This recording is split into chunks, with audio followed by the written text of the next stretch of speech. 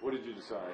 Um, my decision is that I'm going to resign from uh, the position of state rep, state representative elect, and um, and you know, I'm going to leave my options open for future elected office for the future.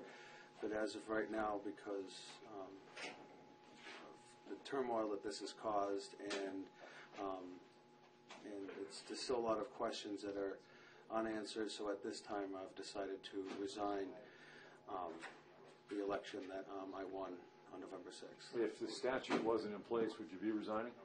If the statute wasn't in place, and um, uh, no, I probably would stay in, in, intact, uh, and I would be, you know, going forward with this election and um, and taking office uh, on December the fifth.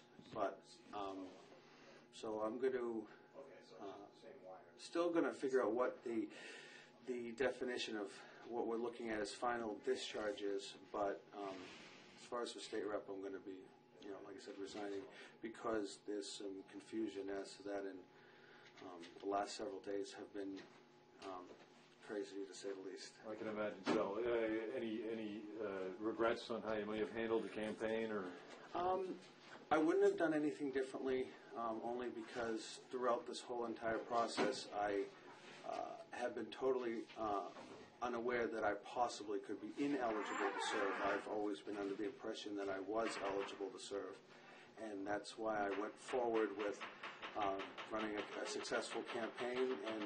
Um, so I mean, and never once did I ever think that I was uh, deceiving anybody or I was doing any sort of wrong to the voters. Um, throughout the whole process, I did uh, inform the voters that, uh, well, the ones that asked, anyways, what um, you know what my background was, and the ones that didn't uh, ask, uh, I didn't tell. Uh, but everything was always on the table for discussion, and um, and certainly I was never trying to deceive anyone or lie to the voters at all. uh, any disappointment in your heart for those who may have been inspired by your, your campaign and your victory? I, I feel um, terrible for those who were inspired. There's been many people uh, in the LGBT community um, that have been inspired, and um, I feel like this is a major letdown for them um, because it certainly was a major victory nationwide to have the first openly transgender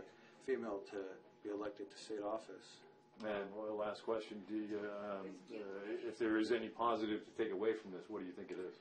Um, I guess the positive is that my future in, in politics isn't completely over. It's just a, uh, a temporary setback. That's it. So we'll see your name on a ballot again. It will, you will see it in the future.